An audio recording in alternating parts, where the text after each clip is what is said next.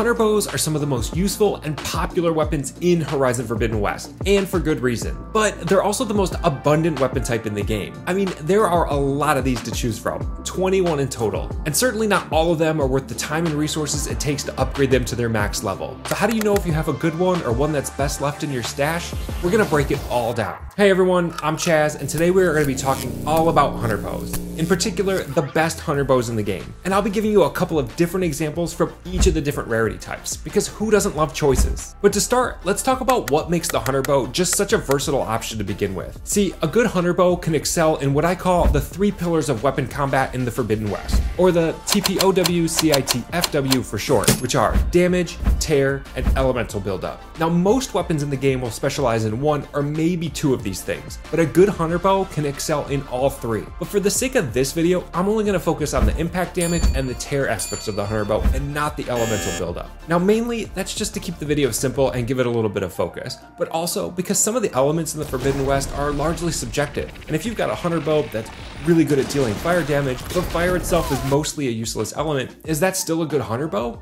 I don't know. You tell me what you think, and let me know in the comments if you want me to do another video where I break down the best elemental hunter bows in the game, because there is certainly a lot to talk about there. But when it comes to judging the best hunter bows in the game, we're primarily going to be looking at three things. The impact damage, the ability for tear, and the weapon perks. But let's kick it off talking about some of the best uncommon green hunter bows, starting with the Whisper Hunter Bow.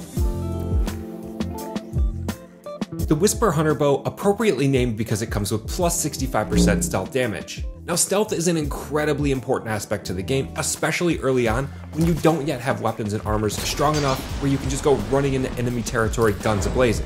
So the 65% damage buff for stealth is a really nice touch. But there's also a big trade-off because you can typically only get one or two shots off while in stealth before the enemies are alerted that you're there and you lose the stealth buff. So you have to pick your shots and your targets carefully. This bow is probably best used early on if you're looking to tear off specific machine parts, especially considering this bow has the highest tear of any of the other green hunter bows. This bow makes it really easy to get in, get the part you need, and get out.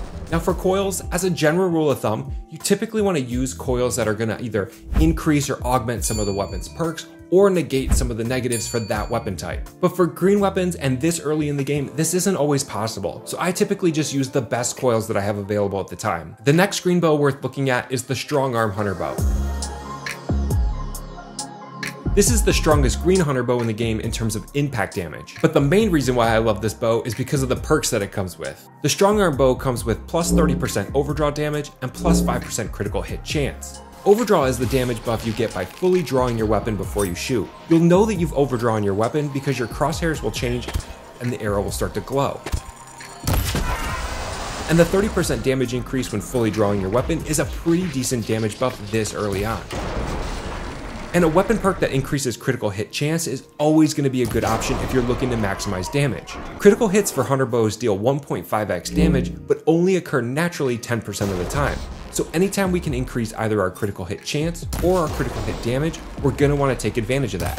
Now once we get into the blue rare hunter bows, we gain access to advanced hunter arrows, which is to increase our tear and increase our impact damage. But there is a little bit of a trade-off here because they're a little bit more resource heavy to craft. They're to cost 5 ridgewood and 10 shards to craft as opposed to 1 shard and 2 ridgewood to craft. But the blue bow that I really like is the sun touched hunter bow. This bow has both the highest impact damage and the highest tear of any of the Blue Hunter bows. It's also really easy to get since you can just buy it from merchants at either Plainsong Hunting Grounds, Scalding Spear, or in Thornmarsh. The real reason why I like this bow is because of the weapon perks. This bow goes all in on critical hits. You get 15% critical hit chance, plus 25% critical hit damage, and plus 15% overdraw damage. So not only are we increasing the likelihood of getting a critical hit, but anytime we get the critical hit, it'll deal plus 25% greater damage. This makes it a really powerful option, and it's a good bow to carry you up to the mid game. And for coils, I'd double down on all things critical hits. I'd go with two mm. 10% critical hit chance coils, which is going to bring our total percent chance of getting a critical hit up to 45%. But moving on, another blue bow that I really like is the Berserker Hunter bow. Now this bow doesn't quite have the same amount of firepower that the Sun Touched Hunter bow does, but it does have plus 15% overdraw damage and plus 25% knockdown power. Knockdowns are another really powerful combat element in the game, but are really seldomly used. If you're fighting a group of machines and need to thin out the crowd, or just need to give yourself a bit of space, knockdowns are a great way to do it. And hunter bows also come with the knockdown shot weapon technique, which makes it easier to trigger a knockdown. Now, I'll be honest, I don't use this weapon technique very much at all, but when I do, a really fun combination to pair it with is with two 15% knockdown damage coils. This makes it really easy to trigger the knockdown with the weapon technique, and then you can take advantage of the additional damage buff when the machines are knocked down. Now, moving on to the purple very rare hunter bows. And at the top of my list is the Marshall Hunter bow, which you can pick up from Dukkah in the arena for 84 hunting ground medals. The Marshall Hunter bow has the highest impact and highest tear damage of any of the other very rare purple bows, which makes it an obvious choice. This bow is easily one that can carry you right up through the endgame. But with the weapon perks, it also comes with plus 25% concentration damage and 15% overdraw damage. These are both pretty solid weapons perks to help amplify overall damage. Nothing really stands out here as far as being too unique, but you can make this bow even stronger with the additional concentration damage or overdraw damage coils or maybe even swapping in a draw speed coil to help get to that overdraw state more quickly.